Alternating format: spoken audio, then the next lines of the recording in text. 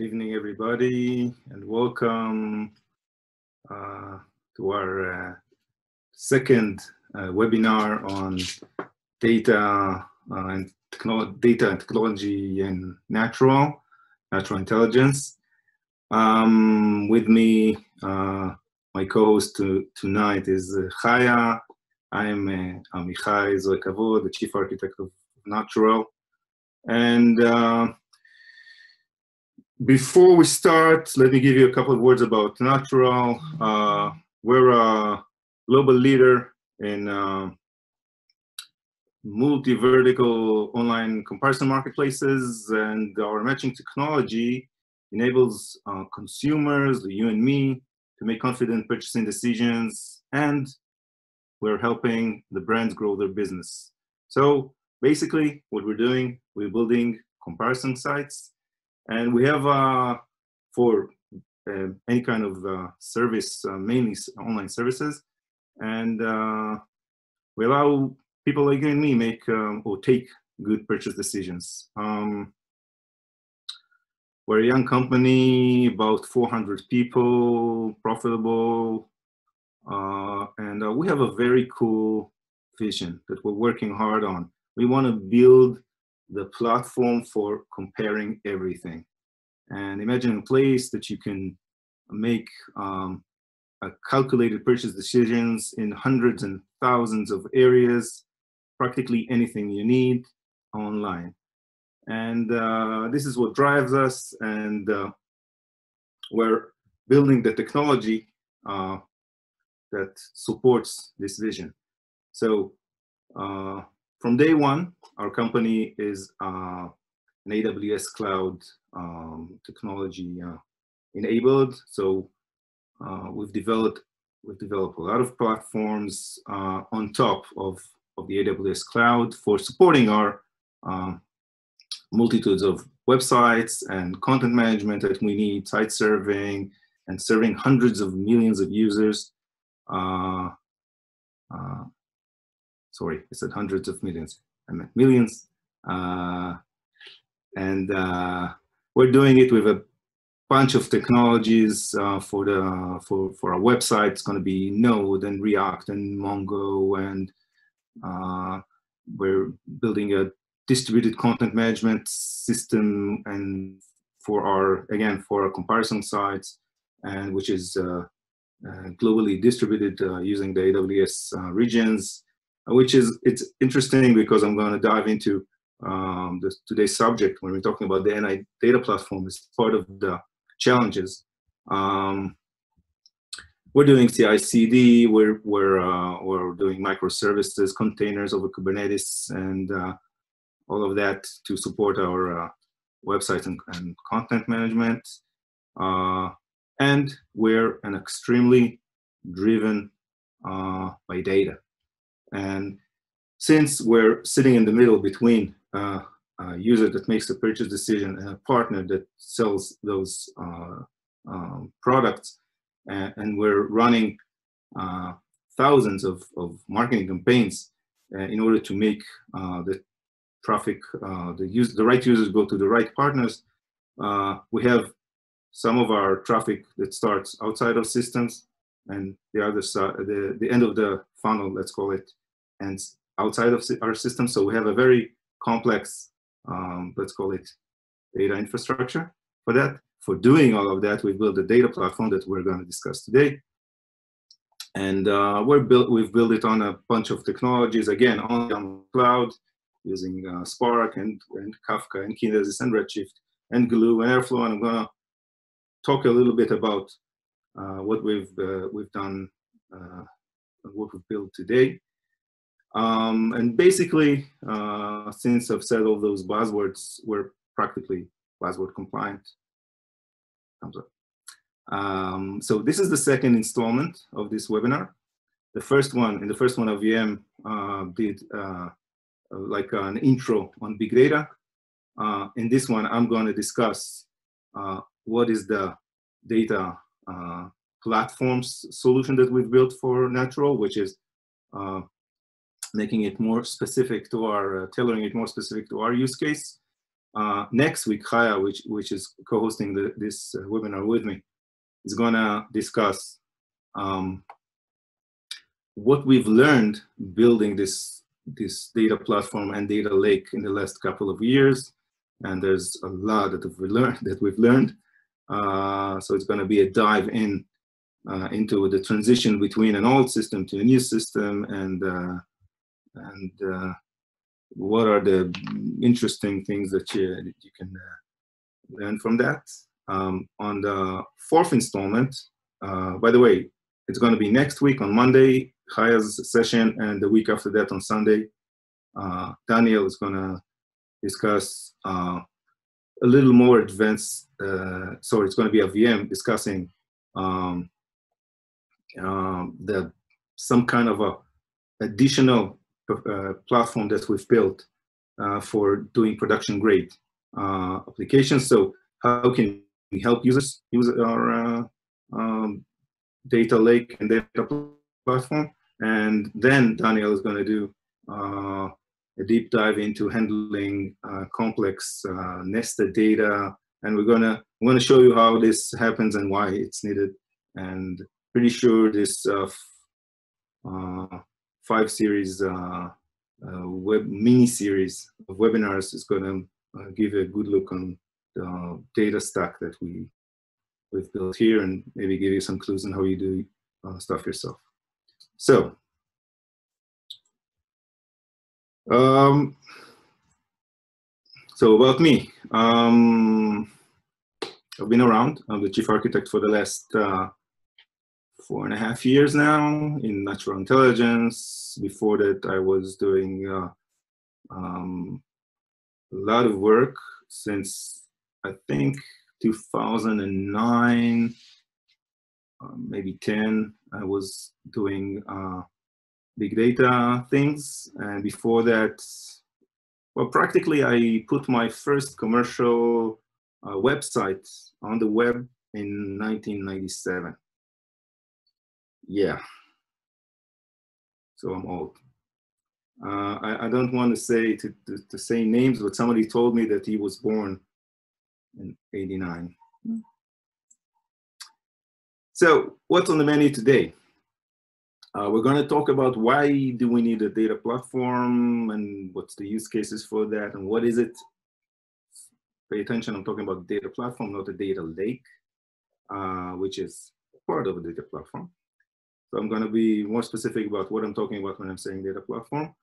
What's the architecture of a data platform? What do you need to know? How do you want to, uh, what kind of stuff you need to handle when you uh, when you're building a data platform and how it is built. Okay, a little bit dive into how it is built. It's not going to be uh, a lot of uh, deep dive into the technical aspects. Uh, but uh, you can uh, you can ask questions and, and, we'll we'll try to answer them. By the way, important. Um, Chaya is here with me to help uh, answer those questions. And uh, eh, Chaya, hey. Uh, and it's very important that you start typing those questions in the Q&A section you have write them when you when you uh, want to ask the question. If it's something that Chaya can uh, answer while I'm talking, she's going to answer that. Uh, anyway, we're going to answer at the end all the questions that, or most of the questions uh, as time permits, that we're going to uh, get.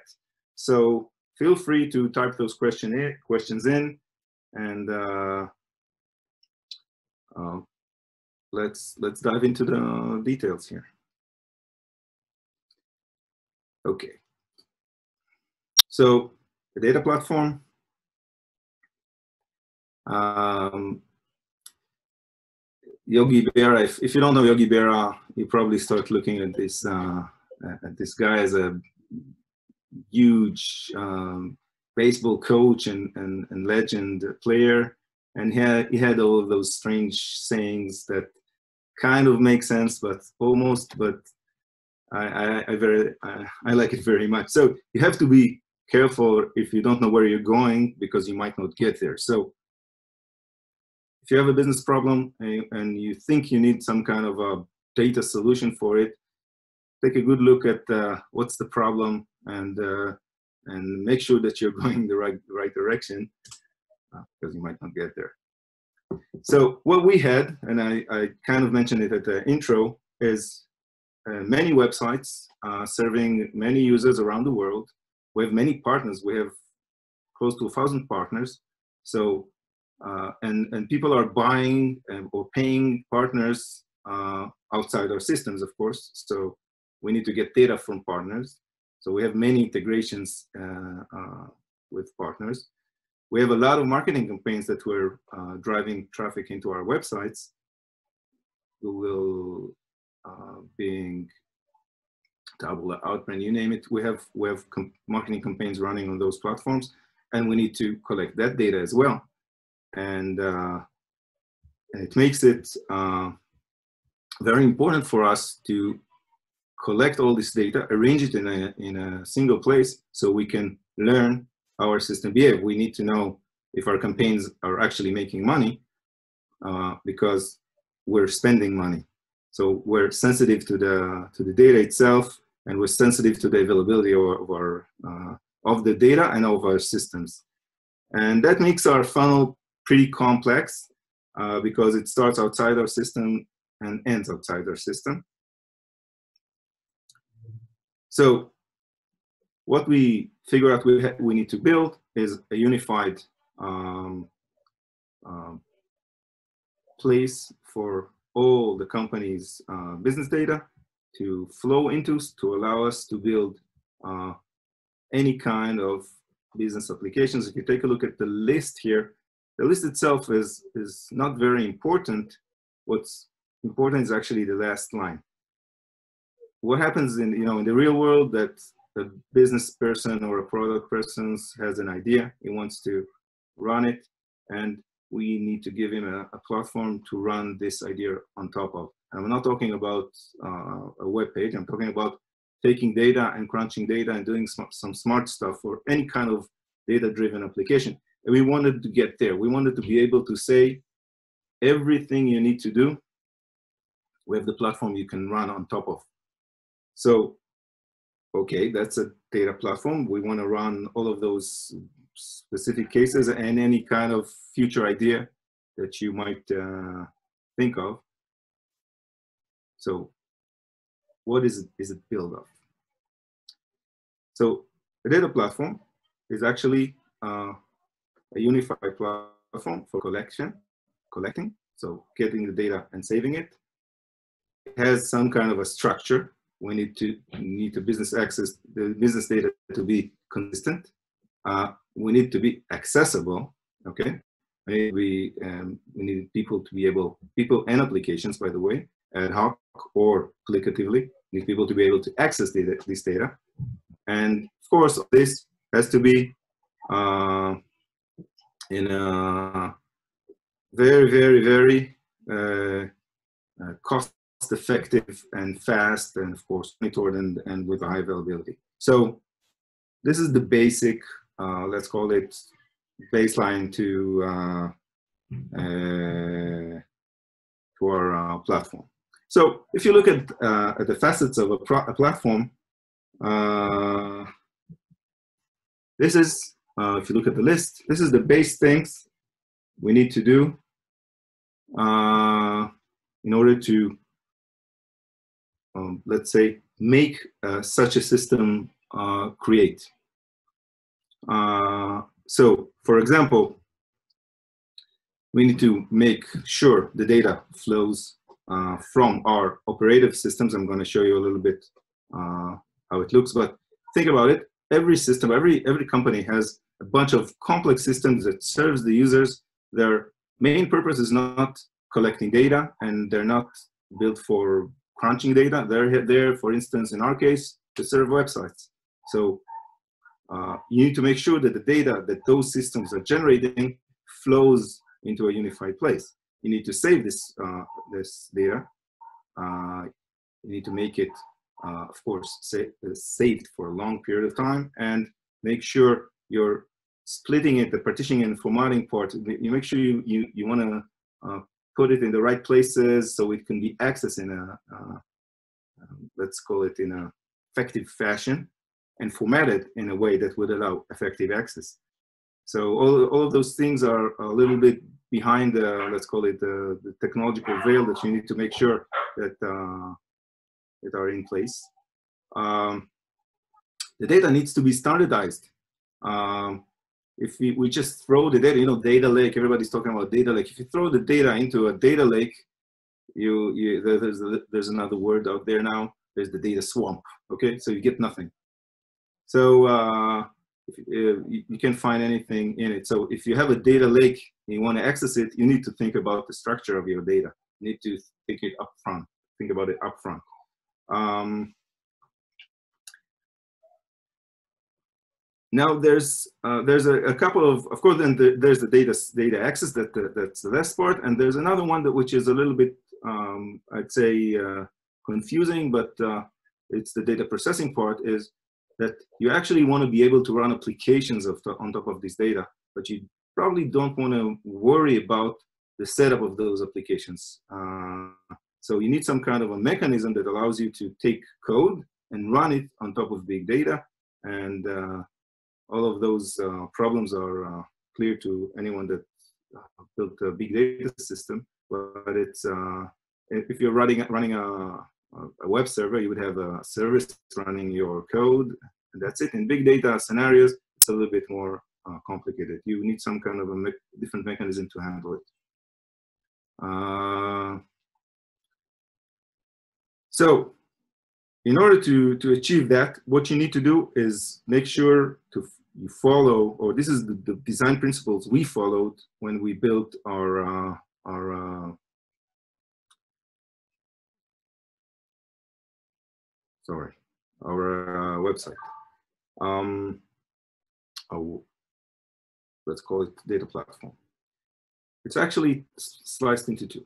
It's making sure the data flows in. This is the event-driven uh, part of the of the system, and uh, and the other, the other part is the data lake itself, is where you put the data and allow the access to. And the event-driven part is important because you would like uh, a clear separation of concerns between systems that needs to uh, serve your clients directly. For instance, a web service or a website that needs to serve a page. And the fact that this page was served or the user clicked uh, on a button or whatever you want to collect those uh, this information, but the minute you're trying to couple those systems together and make the uh, let's call it let's call it the online or the serving system or the back office system, the content management system, whatever you're building, start to be concerned with the needs of a data platform or data lake, you're going to get into trouble. You're going to start collecting data, and, and we actually this is the the system that we moved from uh, when we built this data lake uh, or this data platform. We actually had a system that would go to a bunch of databases every once in a while, collect a lot of information. Maybe some of the cases it would go to APIs. And the system was incredibly fragile.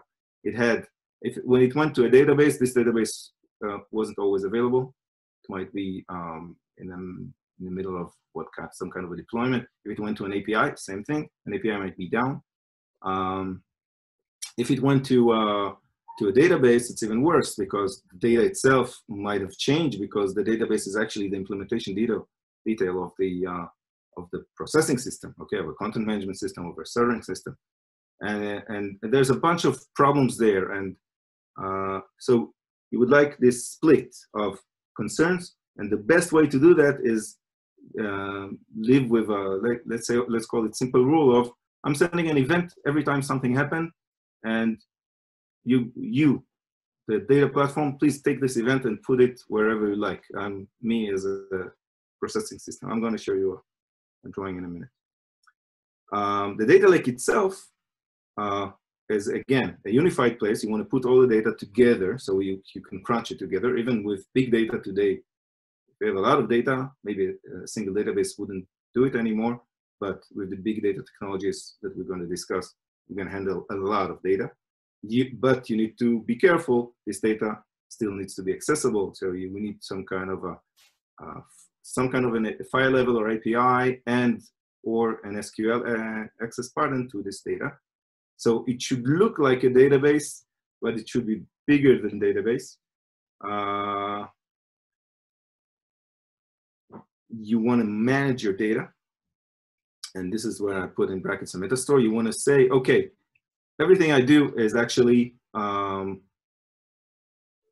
built in some kind of a, a unified, uh, um, standardized fashion, business-wise, I want to keep it in a unified place so I can access it in a, a consistent way, uh, manner. Uh, data is immutable is interesting. I'm, I'm like all for making uh, sure the, the data is immutable, which, mean, which means, and it's a little bit confusing for somebody that works with databases. We're used to when you write into a database, you do a transaction, you change the data, everything is good. When you work with big data, it's different. You probably want to make sure your data doesn't change. And it's a little bit strange because you say, what do you mean doesn't strange, it change? The data's change so there's a bunch of technique. There's a bunch of techniques how to uh, still uh, handle the data as if it doesn't change. It's actually uh, it actually means that you're probably gonna create the same replicas of the data over and over again, even if you change it. But what what would happen is that you never touch a file that you put on disk. You read it and you create a new file or a new version of your data. And again, with big data technologies, it's very, very uh, very easy to do, but it's uh, best practice. Um, and well, that's that's about it about design principle of such of a such a data platform. So, promise to your drawing. Here's a drawing. The top part is uh, uh, let's see. The top part is the back office and uh, and serving that we have today in in uh, in NI, and those systems are actually sending events of everything they do. So we have, we call it dimensions events because it's configuration, what is the configuration of our systems, and visitor facts events, what users did on our sites. And as I told you, this site serving part is actually um, in multitudes uh, of regions across the world. So this actually, this flow of data is actually uh, happening across uh, across the one and to a unified place down there. So everything in, in the dotted red area is the data platform. We have a mechanism or a bunch of mechanisms to help us send events, validate that, that they're okay, collect those events in an event bus, we're going to discuss it in a minute, and make sure these data come go from the event bus into the data store so that it, they could be accessed by uh, our um, mechanisms for manipulating these data, uh,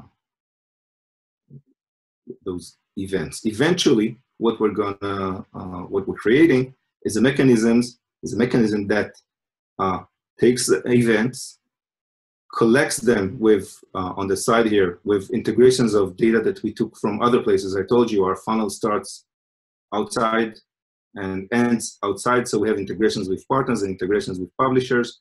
And all of this information with the events data that that drives into our system is actually something that we want to merge. So a user visit, we want, we want to know something about the campaign that it came from and then the fact that it actually had a conversion with a partner. And, uh, and we want to collect this data and allow users, analyst applications, data scientists, whatever, again, the, the list is endless, access this data easily. So we have a we have a data store, the place where we store the data. We have a meta store, the place where we define the dictionary that we where we define uh, what we have. We have an access layer to access this data. When we have a processing layer where we can run uh, applications, and those are the main parts of the data platforms: event bus, store, access, uh, uh, meta store, and then a, and a processing engine. So we have data flows check. We have data persistence, check. We have data standardization in the metastore, check. We have data processing, check. And we have data access. great. We have all the, the parts that we uh, just mentioned. Okay, let's talk a little bit about the top part, the events. We actually slice them into two parts. The event bus, which is the mechanism that uh, gets the data from the serving and, and applicative part of the system, and the structure of the event. It's, it, it's, it's two different things. The, one of them is the, the mechanism, the other one is the, the way or the format where uh, that we send uh, the data. And it's pretty important to understand that this uh, event structure uh, is actually an API. It's the contract between your uh, applications and your data lake. So this is the uh, best way to make sure that your system is uh, uh, or that your data is consistent. Okay, you have a you have a contract. I'm uh, writing now a, a, new application that creates a new user experience. I would send an event, and if this event has a specific contract or slash uh, structure, um, that's great. I, now I can relate to it uh, when I uh, work with the data. And if I change it, I have to change it according to uh, specific rules. We'll discuss it in a second. So this part of the this part of the of the top part of the data platform is extremely important. It allows us to take uh, data from the from the systems and uh, and flow it inside uh, into the data store of the data lake and uh, and in a unified and consistent fashion from from the one hand and in a way that doesn't uh, let's say interfere with the uh, top system's behavior. So an event bus the idea behind an event bus is just okay i'm here to collect your events you don't need to worry about it just give me your data I'm going to make sure it gets wherever it needs to, to, to get. In the old days, we would write to logs or do some local databases or whatever, and then try to sync them. Today, we have a bunch of technologies available for us. The main one, I would say, is, is Kafka. Uh, it's a glorified uh, um, write ahead log, if you would, distributed write ahead log.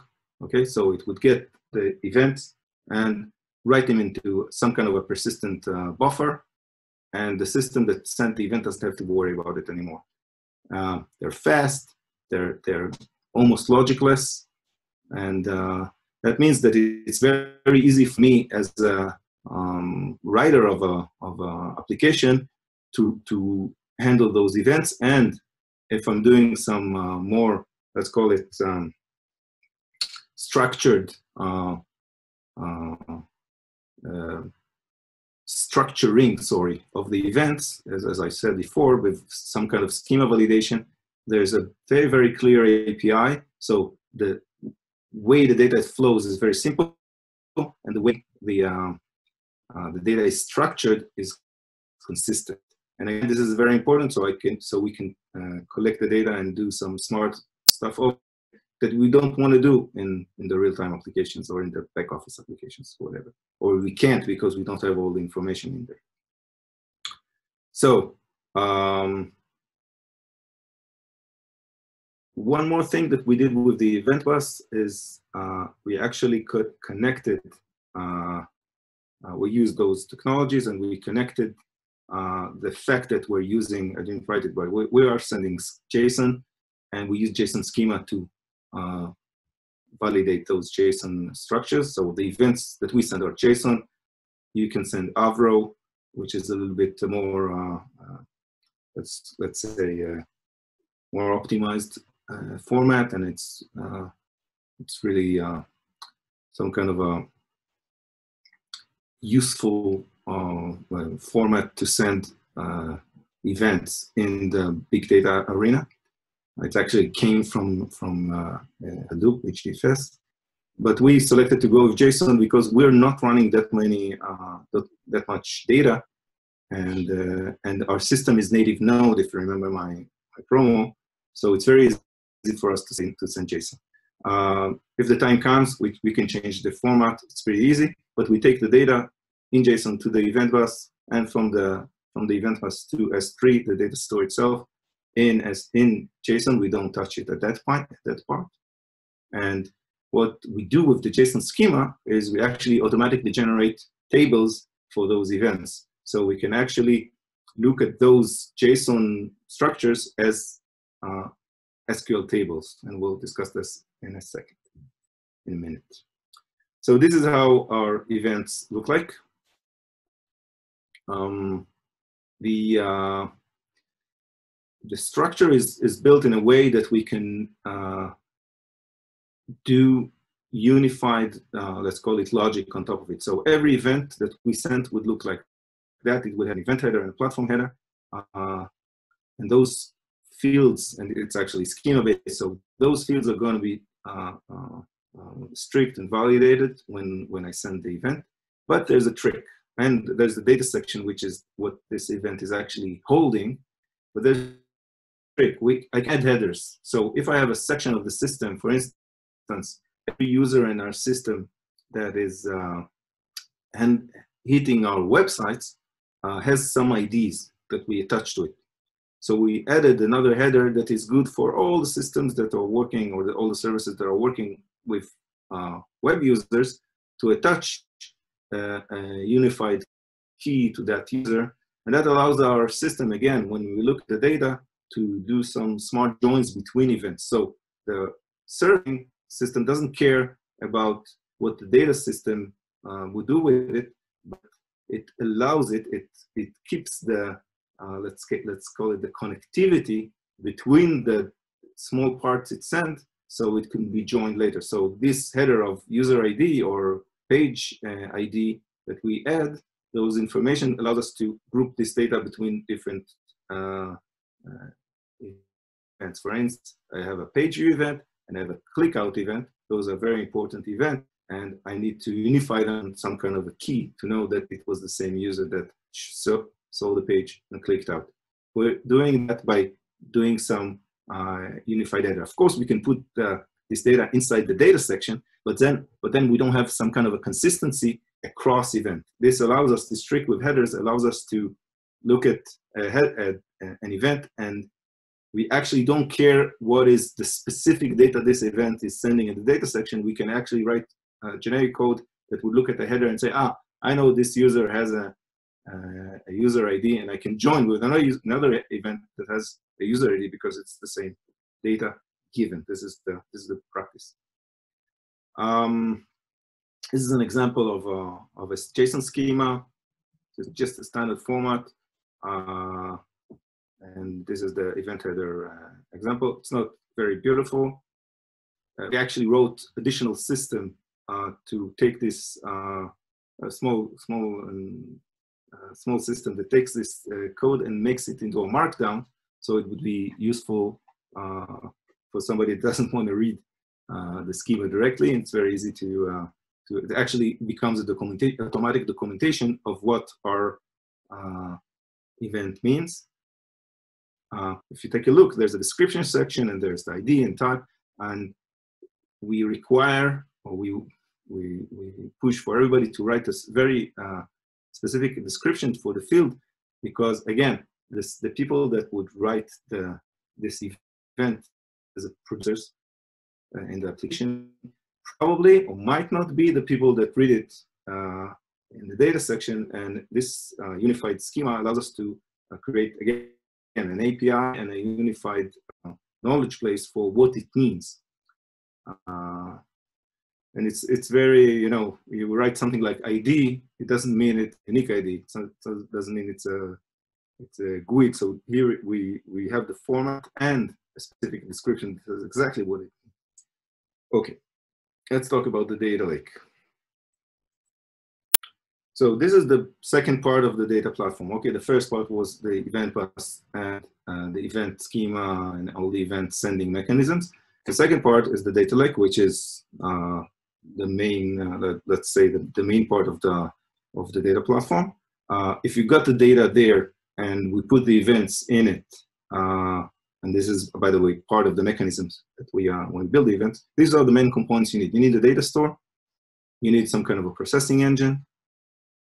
You need uh, and a processing engine with, some kind of a, let's call it advanced pluggability. Okay, you want to be able to write your own code into, in, into it, and of course you want to schedule it and make make some uh, workflow uh, management on top of it. You need a meta store, a dictionary that will tell you where is everything. Uh, you have a lot of data. Where is everything uh, situated? And uh, this, this meta store is actually part of the mechanism that allows uh, other mechanisms like the access mechanisms, the APIs, to get to the data. Um, and I think you can you can think about uh, a data lake like uh, a big um, database that was split into its core parts. So every database, if you think about it, has a data store. it's the file system. Okay. It has a meta store. Okay. Uh, that's the place where the table definition is, is kept. It has uh, an API, the SQL uh, drivers and, and, and engine. And uh, the, the, the, there's an additional part which is doing the processing, which is taking the SQL and allows you to, uh, allows the optimize it and, and all of that. It actually runs the, the queries themselves. It's some kind of a processing engine. It's built specifically for, for SQL. So a database is as a, as a bulked uh, uh, mechanism that uh, that is doing everything in a, in a hidden fashion from you. A data lake is actually those same mechanisms with a little bit of, uh, let's call it upgrades uh, of one, infinite scale, because you're running it on a distributed uh, scalable data store, and you're running it with a processing engine, which itself is distributed, and um, with and with pluggable again pluggable part those since those parts are pluggable it allows you to to get this uh, uh, infinite scale. So but with you know with this power there's also of course limitations. It's not a database because usually what you do on, with this infrastructure is handle big amounts of data and read a lot of data and write a lot of data. And usually you wouldn't get uh, let's call it milliseconds uh, uh access patterns, although uh, there's there are mechanisms that solve those problems as well on top of let's call it basic data lake technology. Um, and what's more interesting about a data lake, and I, I find it uh, very important, is the fact that you can access the data not only in an SQL fashion. So you can write code that is running directly on the data and you have processing engines like Spark that allows you to do that. Uh, that again, in a regular database, the only way to do that is write stored procedures, and we all love that. Uh, but the fact is that it's not running inside the database. It's running in a processing engine, and, and I can set up any number of processing engines. It's since all of those parts are decoupled, I can do I can run two processing engines. I can run four. I can run 100 on top of the same platform with the same meta store and all of that. Um, so what you have uh, what you have here is a little bit um, let's call it uh, dive in into the structure of a, a scalable, scalable data store. Uh, you can see um, that I added on the on the right, sorry, on the left, I added another section because what what what's here the data lake processing is actually a bunch of mechanisms that allows us to take events as, as they come in and start building uh, the enriched data. Okay i want to close visit i want to connect connect conversions into uh, and clickouts into campaigns. All of that i can do with standard etls extract transform load mechanisms that i'm running on top of spark and all of those uh, heavy lifting mechanisms. But i still want to allow other people that are not, let's call it, touching the core uh, data layers uh, of the company, those this section in the in the, in the middle here, uh, I would like to allow anybody to write uh, its own code on top of those uh, of the data I collected. So the other part here on the left, the data processing ops, is actually parallel to the data lake processing. As I said, I can run two engines or n engines on top of the same uh, data stores inside the same data lake, just showing that we can, I, split it in to show that some stuff are core and we, uh, we let's say we touch them with, with care. For instance, we build only uh, one logical visit. Okay, what is a visit? Uh, but some other application needs to do some other stuff and they're free to do that with the same basic uh, technology stuff. So the data layers itself, that it's the, the middle uh, here is, as I said, we're putting the events in and then we're processing them and doing some enrichments and collect, for instance, data from dimensions and data from, uh, from partners and building layers, I call it data layers of enriched data. And all of that data is collected and stored in the data store, mapped into tables using the, the meta store, and it's accessible through the access layers, which some of them are uh, uh, SQL. And when we do that, it's important to note that uh, I discussed partitioning and formatting at the beginning. We do it in a way, as I told you, the events are, themselves are coming in as JSON, but later the data is coming in as uh, as other file formats that are more uh, suitable for uh, big data. We're, we're using Parquet. We can we can also use ORC, and we split the data. We're partitioning it again. It's not a database. Remember that we don't have indexes here. Um, so we partition the data, and it's part of the way we access it in a, uh, in a way that would allow us uh, not go through everything every time we need to uh, to do something. First, we're partitioning it by time or any other way we need to partition the data. Mainly by time, the, the basic stuff. So the processing engines, as I said, those two on the sides allows us to run the core uh, flow of processing and each one of them is actually uh, using the same technology and it's it's about uh, taking data, working with it, and putting it back, usually into uh, into the same data lake. Uh, sometimes it, we, we, we push it out. There's a bunch of mechanism I didn't put in the way we, we, put, we push data out. But basically, uh, we need to schedule those mechanisms. We need to do some checkpoint mechanism for that. We need to monitor that. Uh, all of that is, is the basic stuff that we've built for supporting it. And sometimes we need to take the data at the bottom left, we need to take the data and put it in external databases. Uh, and, uh, and for instance, to allow visualizations, we, are using Redshift and, and uh, Tableau for our users. So we take the data sometimes uh, and extract it and put it in, uh, in, in Tableau and in Redshift Redshift for uh, analysts and business users to take a look at it. Um, the meta store itself, okay, it's just it's just a place where we uh, we keep our um, let's call it standardized uh, business uh, structures, which we define as tables. So it's a um, table definition store and uh, a data lake table definition store is very, very similar to a, a table definition store of a database with a bunch of small uh, differences. The big one is that pointing to the location in the disk. In this case, in this space, it's going to be S3 that the data is seated.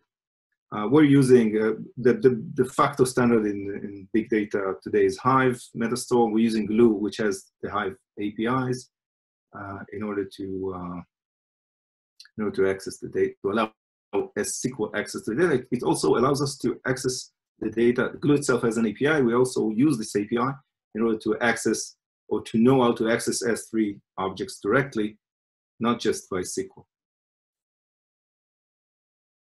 Okay, so the data I mentioned, um, this is the place where we keep the data and, and enrich it. Data accessibility is the way we access uh, the, everything that we put in the in the data store. Uh, the thing is, uh, there's a couple of things uh, to say about it, but I think the most important one is that basically you would need some kind of a, a SQL access pattern to uh, your uh, data store. It's going to be the easiest way to applications and uh, people to access this data. And this is the way we went about it. There's, of course, applications which are doing smarter stuff might use this metastore, as I mentioned before, to access the data directly if they need to. There's a bunch of use cases where it's correct. But mm, generally speaking, if you want to allow access in a standardized way, SQL is, is the way to go.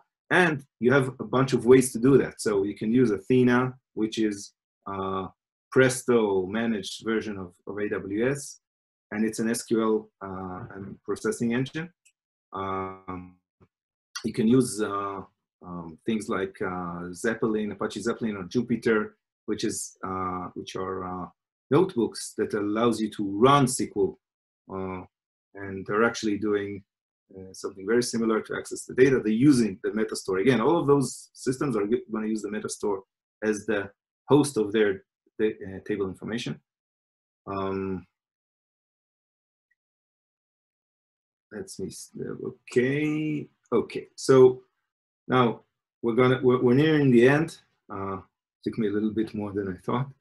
This is, uh, I threw in all the bunch or most of the tech we're using here. You can see at the top, we're using uh, we're actually using Kafka Kinesis data streams and Kinesis Firehose, where, where I wouldn't go into that, but we're, we have, we have multi-region concerns and we're writing, we want to write locally to an event bus and then think, think it to a remote event bus. So it's actually two event bus. One of them is in those areas and the other one is in this area and they're connected.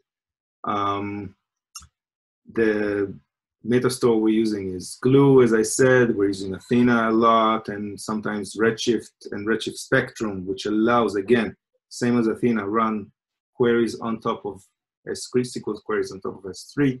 We're using JSON as Parquet as our file format, and Spark over EMR is our main processing engine. And, and we're, we're starting to do some uh, Kubernetes integration into this environment in order to run Python for our data science teams. Uh, and on, top of that, and of course, we're scheduling it with Airflow. Um, we're doing some, a bunch of, of work with Lambda in order to do some partitioning and, and monitoring and, and cleanups. And we're using Elasticsearch in order to allow fast access to the, to the events we're sending into the system. Um, so that's basically it.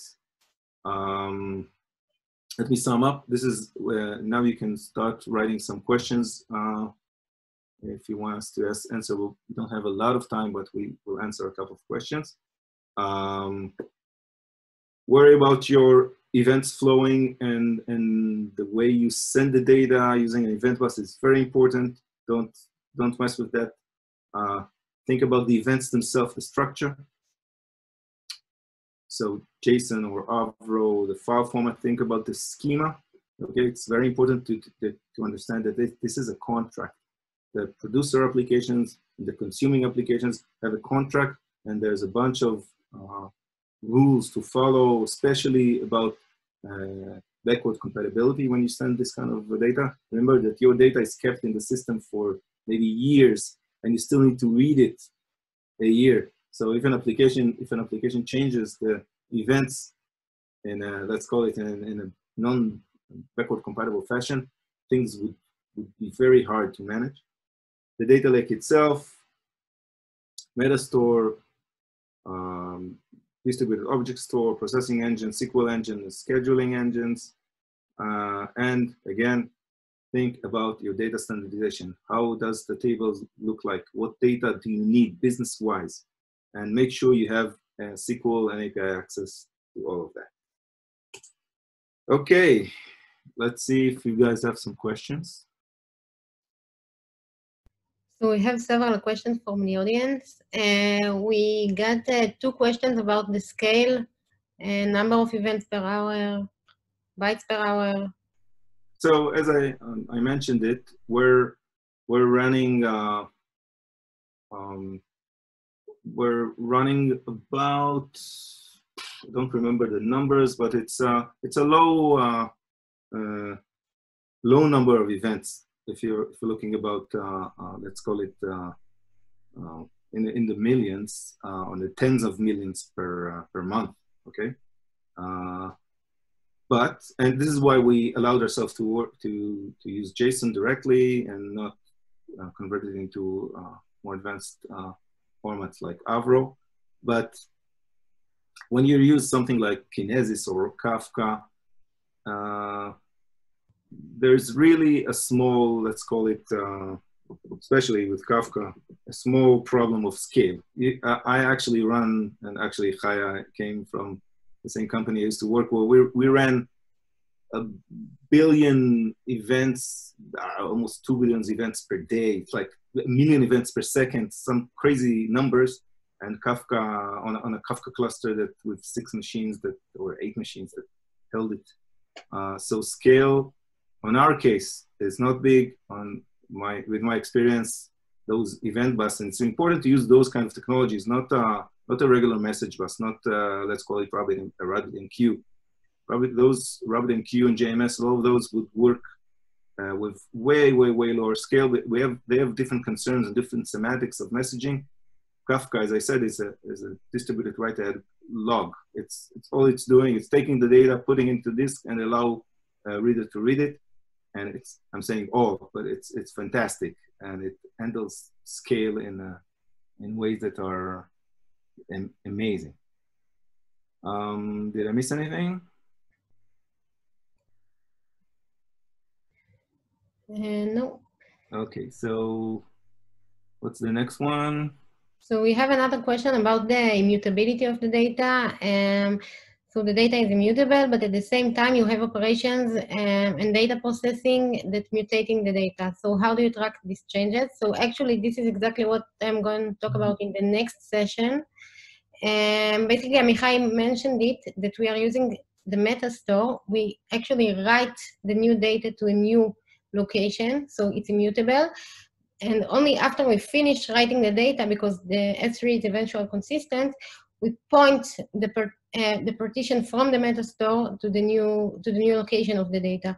So only when the data uh, has been written, the consumers of the data see the new version of the data, and we will talk about it in the next session uh, in details. Okay, Amichai, do you want to? No. Uh, okay. So we have another question. Uh, another question: uh, If we process uh, just in large batches, streaming both. So we do we do only batch for now. Uh, we actually, when we decided we, we, we, started building the system, we considered going uh, streaming uh, from day one, and we realized that again streaming holds uh, with it comes with a bunch of uh, let's call it uh, concerns of its own and we realized it's going to be very or easier for us to handle the use cases the business use cases that we need to handle uh, with a batch technology. Having said that i didn't go into that but the data platform is extendable to a streaming solution. And we actually had some pocs on, on that. We're, we're for the way to do it is to put the streaming mechanism below the Kafka and like read directly from the Kafka. And then you can do some stuff pretty fast when the data comes in. It could, it could be seconds uh, between a, a, producer generates an event and the system doing some stuff.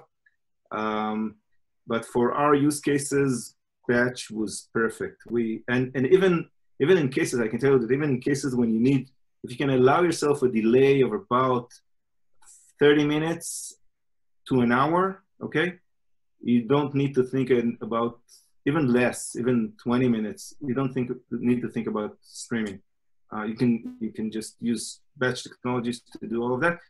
When you go below that, I would advise looking into streaming technologies, and there's a, there's a lot, a lot of uh, again differences in the, in the way you uh, access those uh, the streaming versus uh, batches. Although, by the way, it's sold as the same thing. It's not. Okay, what we have next? So how do you know that there is no data loss uh, and the data is fresh?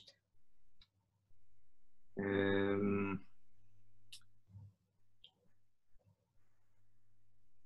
well, that's that's a that's a that's a, an interesting one. Um, we don't. Okay. Uh, you can uh, add. It depends. Let's say this way. The more, let's call it restrictions you put on the event flow, like you want to put acks, and, and, and, there was a question about that. Uh, uh, you can put acks on when you write to Kafka, so you make sure you wrote the data to Kafka. You can put uh, multiple uh, event bus in place, so like you have redundancies on the event bus, you can make sure you, that you're uh, uh, you're sending the data. You can make sure you can do some kind of other buffering mechanisms. Uh, we don't do most, we do some small buffering in memory, but uh, we're not doing all of the other stuff yet. Uh, but still, I can tell you again from experience that the amount of data that gets lost, it's not zero, but it's uh, it's not it's, it's funny, but it's not very different from working with a transactional database when you save data to it. And I, I can't really explain it. Maybe because when there's a problem, it's usually a technical problem. Some problems in the network, some problem in the in the Kafka itself, as I said, or Kinesis, which are very very um, let's call it simple systems comparing to a database. Think about a, trans a transaction that happens in a database versus uh, a Kafka event bus that all it needs to do, take the data, the, this specific message that he got, and put it into this. And they're doing it in an extremely uh, uh, optimized fashion.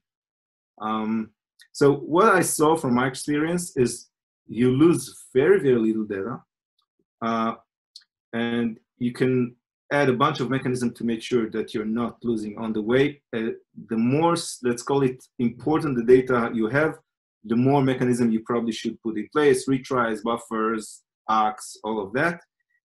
And we don't have it right now, but uh, there are additional monitoring mechanisms that you can put in place to make sure that your events, and uh, again, I did it uh, in the past, it's very complex. It's, it's making some, adding some headers. Remember those headers I said about the events? You can add headers that allows you to make sure that bulks uh, of data had arrived completely. So you can add, add counters into, into headers of the events and you can count them and then you can see that you, if you've lost data, uh, you can you can you can know that you have lost data, and you can do all of that. It's pretty complex to build those uh, additional monitoring systems, and um, I, I, guess eventually we're going to get there. No, we're not there yet.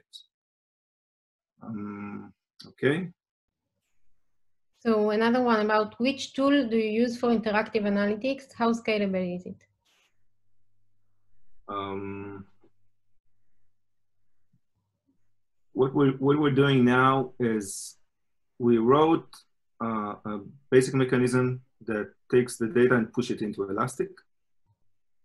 And uh, so every event, I'm talking about events right now. Okay, there's different parts to the system here. The part that, that events uh, flow in and uh, are put into S3, and the parts that of the ETLs that are running and generating uh, Parquet uh, files.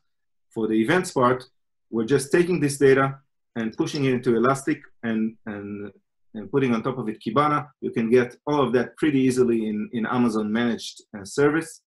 So all you need to worry is every, every time an event or a bunch of events comes in, we do it every five minutes. We, we take the bulk of events, we push it into Elastic, and we have uh, in, in, gaps of about five, six minutes, uh, uh, all the data uh, that we push into the system as events. And uh, using Kibana for that is allows us to do uh, pretty easy uh, monitoring, even alerts, and uh, validation. We added validation mechanisms, so we're doing some uh, schema validation on that part, and we track errors and events in that fashion. Okay. Do we have anything else? Uh, we have a question about how looks a machine learning flow from gathering the data until it goes to production using the data lake approach. So I think Aviam is going to talk about a framework that we developed that uh, data scientists can develop um, machine learning, learning flows without having to concern about the the about the deployment and all of and all of that. So Aviam will talk about it more in his session. You are welcome to join. Um, so uh, another question if we, uh, is about uh, exactly once processing in Kafka. So don't do that. You can. Kafka kind of says that it, it can do it, but if I remember correctly, it needs to have only a single producer uh, for the exactly ones that Kafka needs to. Uh, again, in our use cases, remember what I was talking about is usually data applications that go over a bunch, a big bunch of data, and, and I have a, a unique identifier for every event, and I have a bunch of, of primary keys I can, I can uh, use to uh, just dedupe the data when I read it. So it's very hard to do an exactly once uh, processing in Kafka, and we, and we just didn't, we, did, we didn't bother. Okay. Um, I'm sorry. and the last one, right? Or a couple of last one. Uh, uh, yeah, we have a question about Airflow. I don't think it's the scope of this uh, session. Yeah, again, we're, we're, I'm going to say that we're managing, yes, we're managing Airflow ourselves. We're, we're running it in, in Kubernetes clusters and we're doing it ourselves or with the help of our DevOps teams. And uh, it's it's actually interesting. Uh, uh, I thought about it when I when I wrote uh, the presentation that there's a lot of lot of managed solutions that we use here, like Athena and EMR and uh, uh, you name it. A, a, lot of stuff which are uh, and and I didn't, didn't think about Airflow. We actually didn't see any um, managed solution for Airflow, so I might be probably there is out there, but we're not uh, willing to use it. Um, I would say about generally about managed solutions that I, my approach to that is very uh, let's call it uh, simple. Use a managed non-open source, oh, sorry, a managed open source solution. That's the best way to go because you're getting the open source, uh, let's call it openness. So you can run it on your machine, you can run it on a different cloud. Uh, and since it's managed, you're uh, getting a, a, a, lot of load off your head, off your back, uh, if you will, uh, to uh, that you don't need to worry about.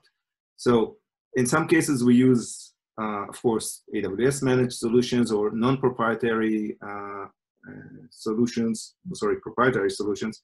But generally speaking, look at what I said. We're, we're doing SQL, we're doing JSON, we're doing uh, Spark, we're doing uh, actually Hadoop.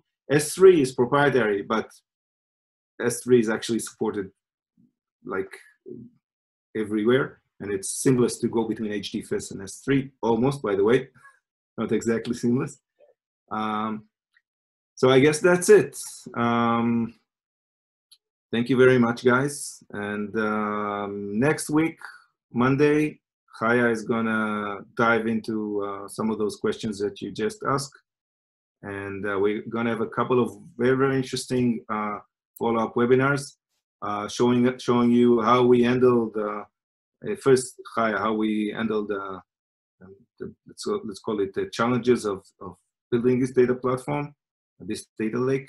Then we're gonna dive into how to allow uh, users to do advanced stuff like data scientists and uh, other uh, uh, engineers to easily deploy ETLs without the, the, big hustle of you know Spark clusters and all of that, and and, and writing yeah, actually writing big amount of code.